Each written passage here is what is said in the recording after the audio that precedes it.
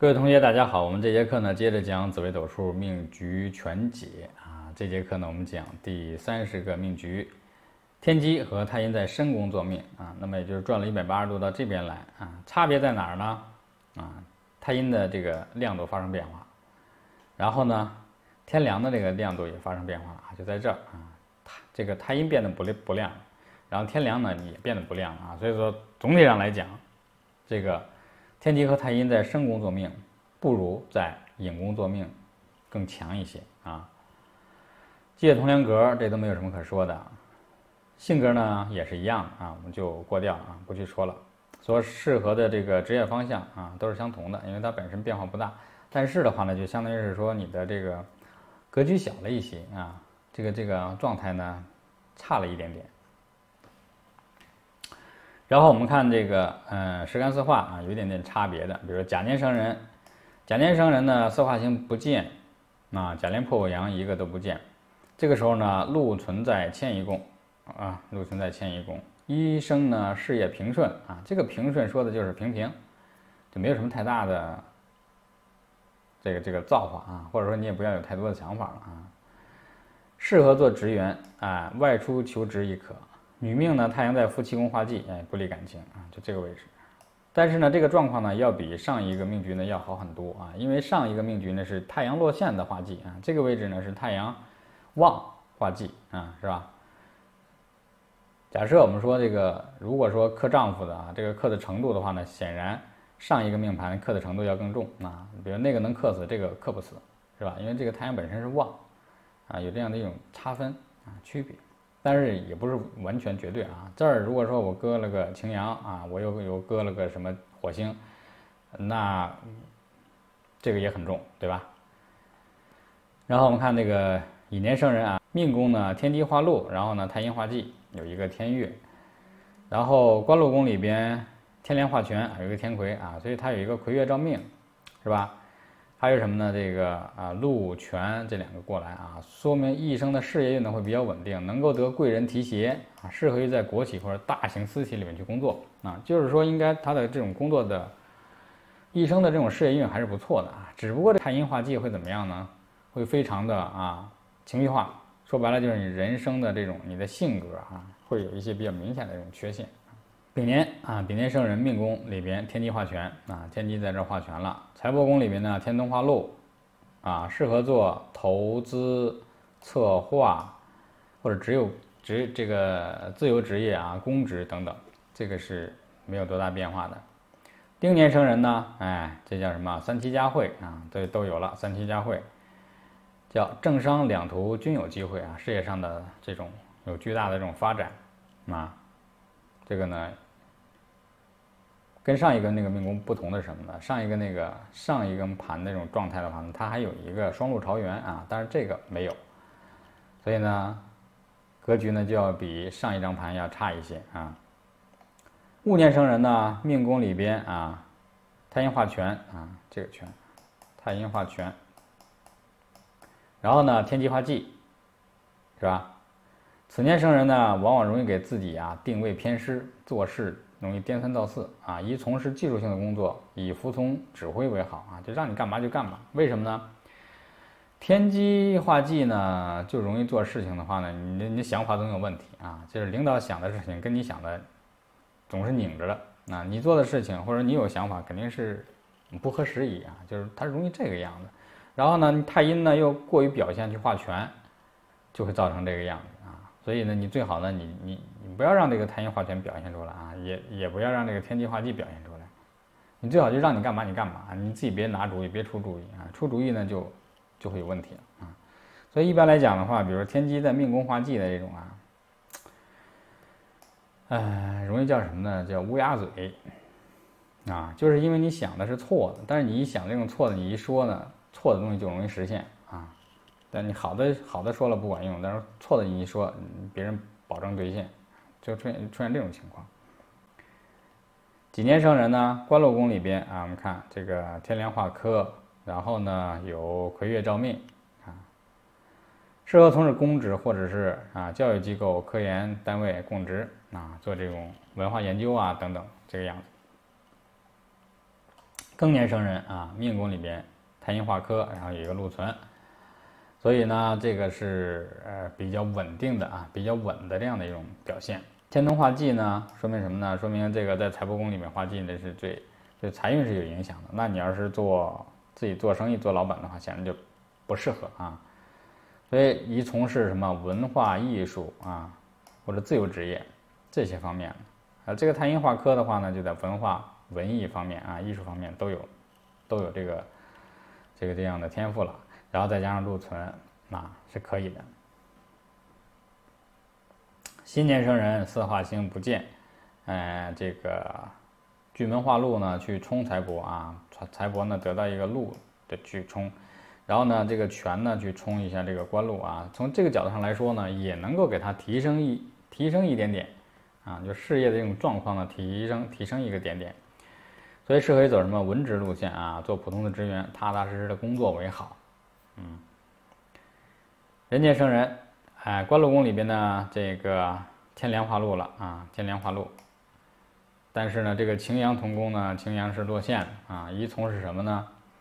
从事啊这种公职啊，公检法或者技术岗位为佳啊，在这种技术性质。癸年生人呢，太阴化科啊，命宫里边太阴化科，然后呢，在这个六六合的宫位上见到一个化禄啊，叫科明路暗啊。明禄案，官禄宫里边有禄存，是吧？啊，这适合公职、学术研究啊，或者是教高校教育工作啊等等。这个啊，天机和太阴在申宫坐命，它的这个大运的状况呢，和上一张盘呢相相差呢这个不大啊，它的这个状况呢差不太多。哪里不一样呢？就是啊，太阳呢，在比如说大运逆行的话，走在第三步大运的时候，太阳旺啊，这个状态是不错的。然后呢，如果大运是顺行啊，第三步运呢，巨门落陷啊，这个不好。然后呢，天天象呢，这个也一般啊，得得这个天天梁这个运呢平啊，但是呢，会受到这种太阳旺的这样的一个冲照。能够能够提升一些啊，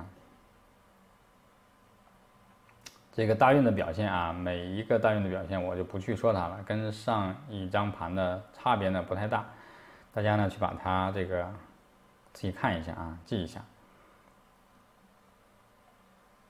我们接着给大家讲这个《斗数全书》里边的骨髓赋啊，说论命必推星善恶，巨破擎羊性必刚。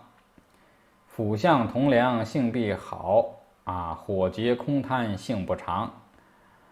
昌曲路基清秀巧，阴阳左右最慈祥。那这三句的话呢，是这样一听呢，大家应该是能听懂的啊，就是它是这个这个比较简单的。这要干嘛呢？你要看这个星的善恶啊，对吧？星的善恶，巨门、破军、擎羊啊，这些星呢，星的状态都是称之为叫比较。比较刚的啊，比较刚强、刚烈的这种性质的话啊，这主什么呢？主唇舌是非，口舌是非啊。巨门、破军、擎羊这些都主口舌是非，加煞伤残啊。再有煞星来去同宫的话，就容易有有伤残这样的状况啊，或者叫破败、伤残、破败这两个呢是不同的状态啊。所以你不是伤残就是破败啊。辅相同梁是这四颗星啊，天府、天相、天同、天梁这四颗星呢，性质呢都非常的好善啊。那么火星、地劫、地空、贪狼这些性质呢，就变得这叫什么呢？无常啊，这样的一种状态。文昌、文曲、禄存、天机、清秀啊，清秀这个灵巧，太阴、太阳左辅右弼。慈祥啊，所以最好是见什么呢？见这个啊，那我们看啊，说昌曲禄基守命，不加四煞，主人磊落英华啊。你前提是不被不被羊驼火灵同宫凑合啊，或者是冲照，聪明秀丽哎，亦当富贵。如阴阳左右守命哎，不加煞。这个阴阳左命左左右守命的话，那也就是说。他在这个丑宫或者未宫的时候啊，日月可以同宫啊，左右也可以同宫了。这个时候呢，不加煞，主人清奇敦厚，度量宽宏，富贵之论。那加煞就显然就是会对他有影响啊。五破真贪冲合，屈权固贵啊，羊驼七杀相杂，互见则伤。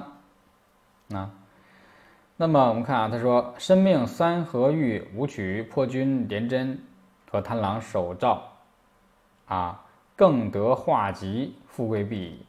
这几颗星呢，它都是这种啊拼杀的这种状态啊。然后像这个廉贞和贪狼啊，这两颗星其实都是属于叫这种经商的经商的星。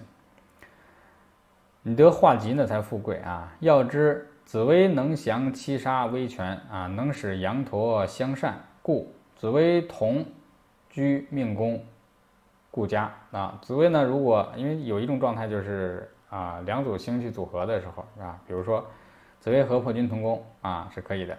紫薇和破军同宫的话呢，那么这个啊，武曲必然也会跟这个应该是贪狼吧啊。去同宫啊，然后呢，这个破军呢，呃，然后这个这个这个廉贞呢，可能就跟七杀同宫啊，他这种他一下就变成了这种六个啊六颗星的状态。说在冲合啊亦可，但七杀阳灵终非吉兆之要啊，到老亦不得善终也。所以这个凶星的话呢，到最终的话呢，还是要对人要要要有影响。贪狼廉贞破军恶。七杀擎羊陀罗凶，这都不用说了啊！这这这这些星都是啊，反复在强调的。火星零星专做祸，劫空伤使祸重重啊。这个伤只是天伤啊，使只是天使啊。天伤和天使这两颗星呢是一组啊，他们呢是在迁移宫的一左一右，对吧？所以我们前面大家在群里面讨论的时候说的说到这个天伤啊，天伤呢，这个在某个流年上呢，它容易造成这种重大的问题的啊，是要重视的一颗星。巨门忌星皆不吉，运身命线忌相逢。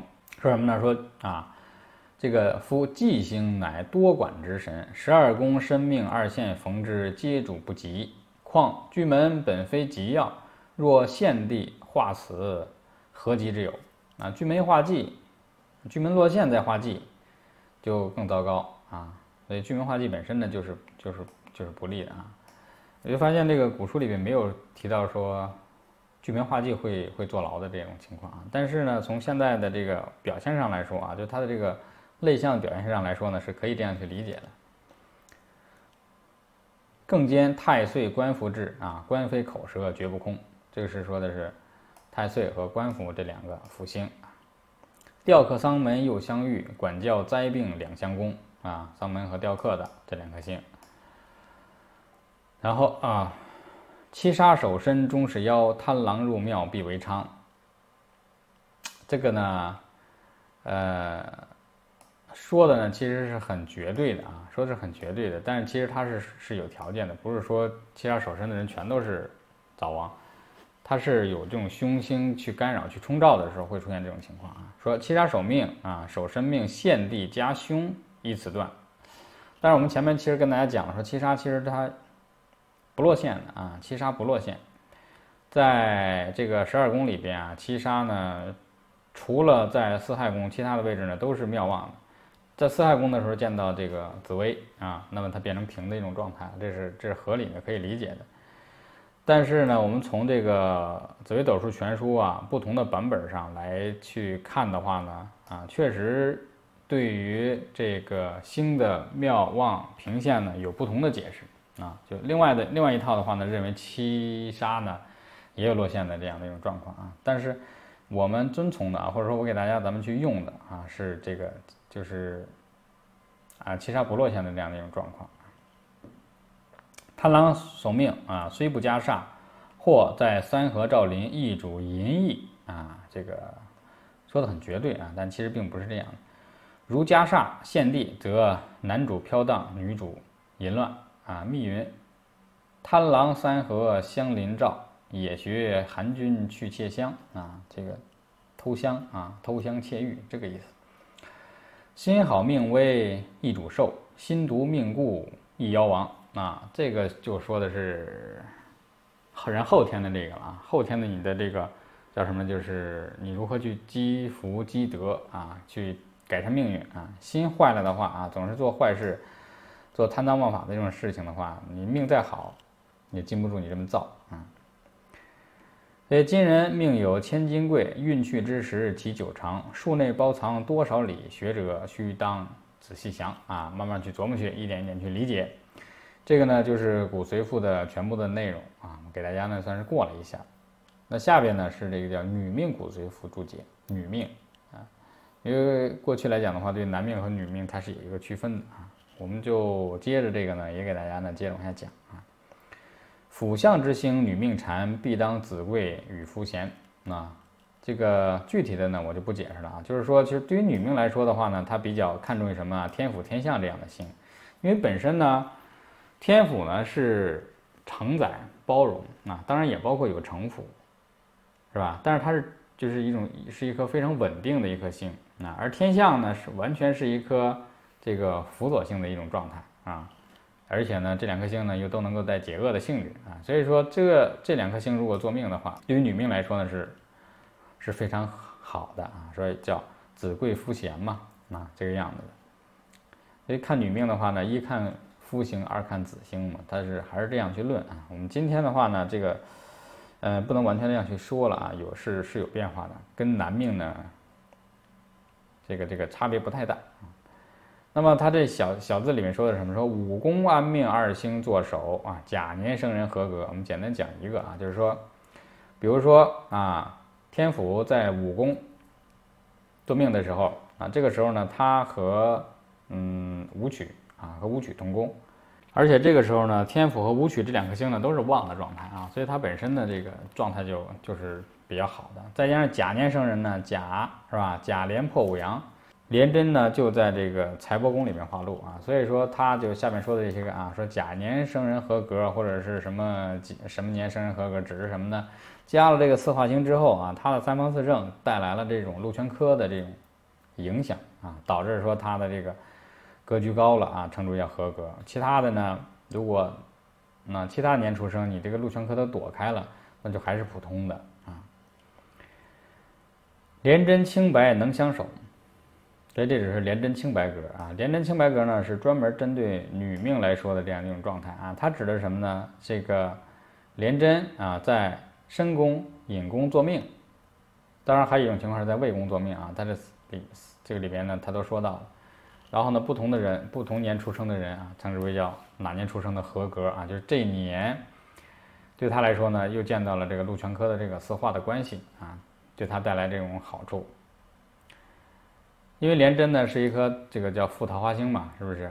啊，廉贞清白的意思就是说，叫万花丛中过，片叶不沾身啊，或者说女人呢在这个这个很多的男人啊这个圈子里面去周旋，但是呢能够洁身自好，这是非常难得的啊。更有天同李亦然啊，天同也这样看啊，天同呢跟这个廉贞的这个道理是一样的。端正紫微太阳星，早遇贤夫，性可平啊。因为他说的是这个紫薇和太阳这两颗星啊，嗯，能够遇贤夫啊，是这个意思。他说啊，子亥、巳亥三宫安命，二星坐守主富贵啊，这个说的也是比较不是特别严谨啊。那你比如说这里面讲说太阳，太阳在亥在子安命的话，得落陷了啊，这个状态呢不是很好的，所以大家呢这个参考一下就行了啊。但是它在四宫啊，太阳在四宫是 OK 的。那么紫薇来讲的话呢，在四亥子都没有问题啊，个别的有问题。太阳引到五，遇吉终是富啊。然后他的理解是说什么呢？小字的注解说太阳五宫安命，定主富贵啊，献地平常。这个说法也没有错啊，但是呢，跟这句话呢恐怕有点出入。他说太阳引到五啊，太阳的话呢是从引到五这几个宫位啊。寅卯辰巳午这五个宫位呢，它是妙旺的，对吧？所以，所以这个时候太阳的状态都是佳的啊。只不过呢，到了午宫的时候呢，就这个状态更好，称之为叫日历中天嘛。那么当然的话呢，这个格局呢会带来好处啊。左辅天魁为福寿，右弼天相福相临啊，这个也就没啥可说的啊。其实说的都是这些个吉星啊，这些吉星如果能够能够跟你同宫啊。在命宫或者身宫的话，显然是能够给你增加这种吉庆的一种属性。但是呢也得分啊，在这里面就没有讲，也得分分什么，比如说像贪狼、武曲啊这样的星，他就怎么样，就不喜欢跟这个文昌文曲在一起。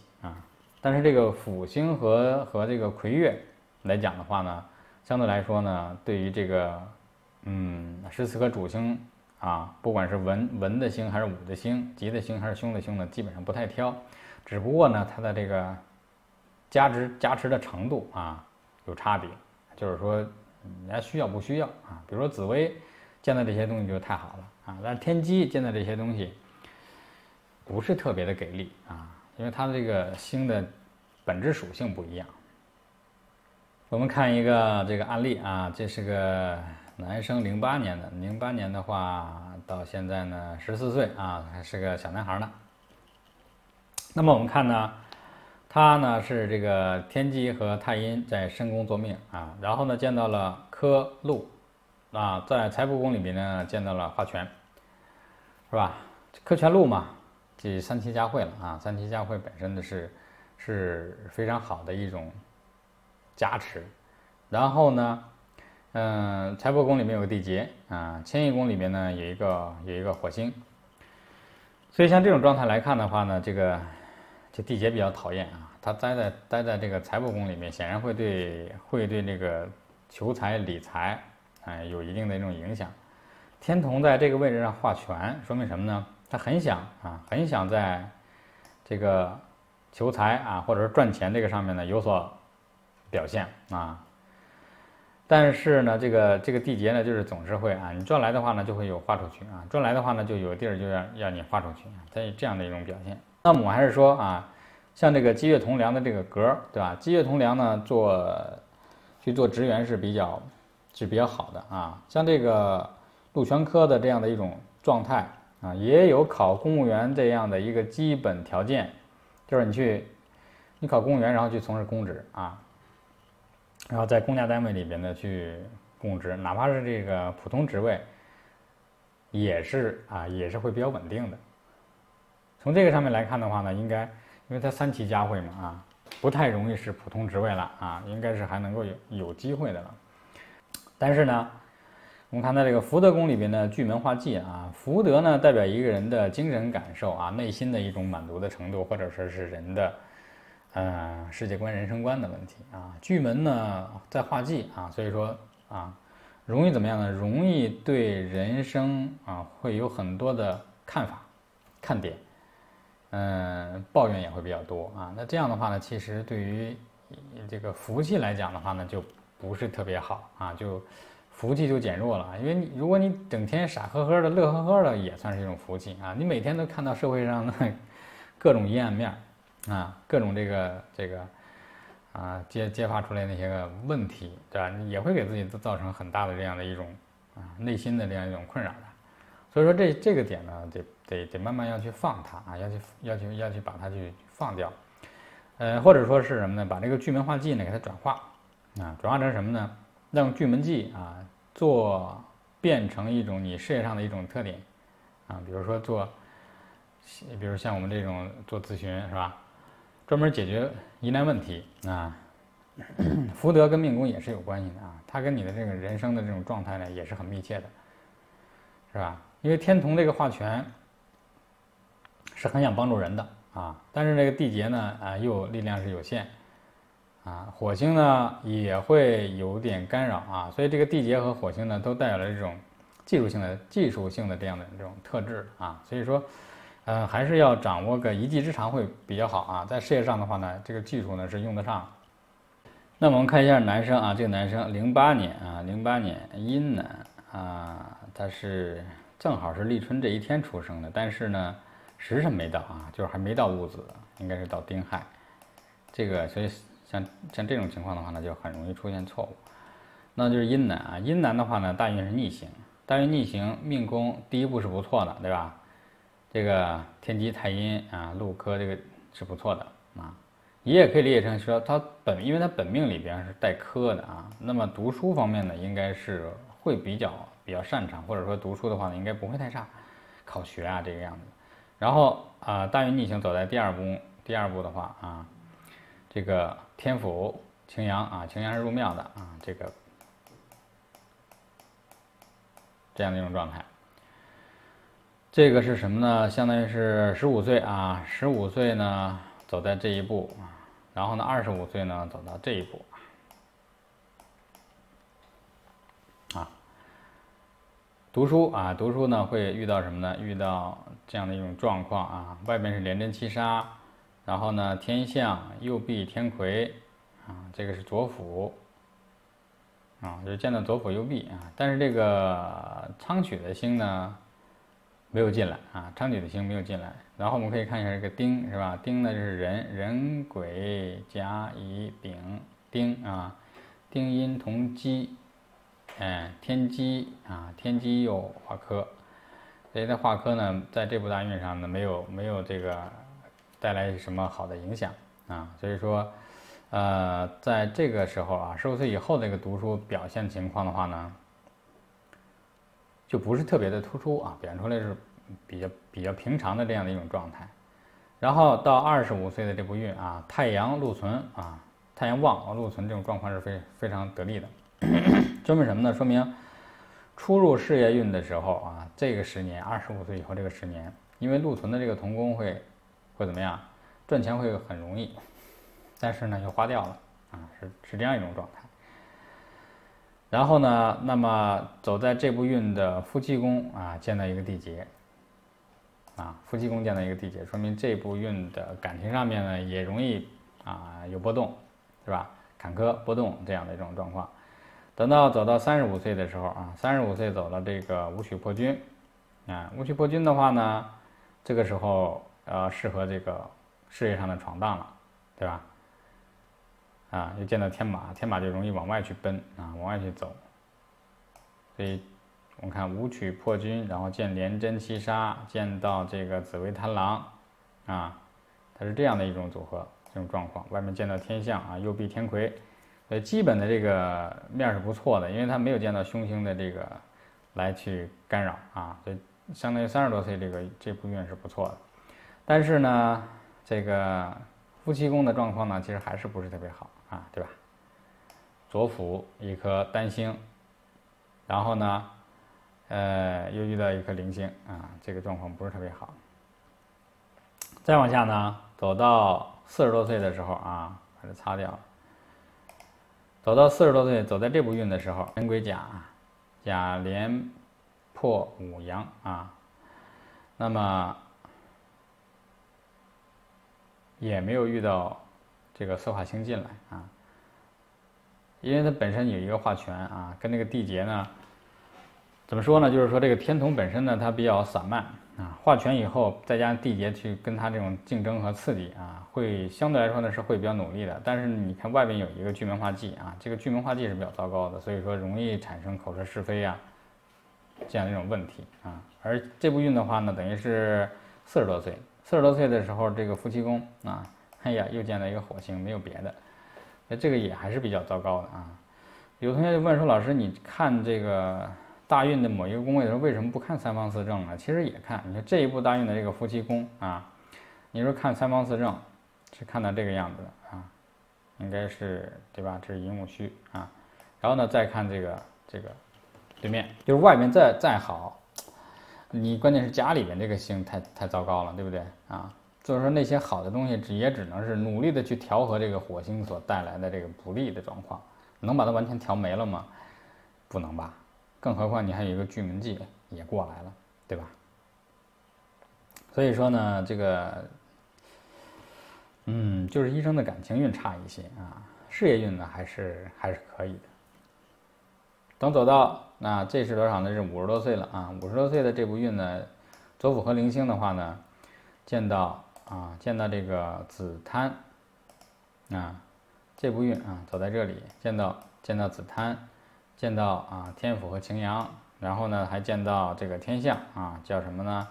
呃，辅相朝元，子府朝元啊，就是这是五十多岁的时候呢，状况呢还算可以吧，因为你本身你这个命宫里边啊，命宫里边这个状况呢是没有主星的，然后这个零星呢就会比较受影响啊，其实，在这一步的时候啊，我们看在这一步的时候啊，他还受到了一个地空和地劫的这样的一个加命的一种影响啊。这是多少岁呢？就是二十多岁的时候。所以说，你这个加了你的命宫，然后可以跑出去，跑到这个天象这个边来，对吧？这样子的。这个我是这个跟跟咱们学员啊，孩子妈妈其实聊过这个啊，将将来去从事哪一个方面啊？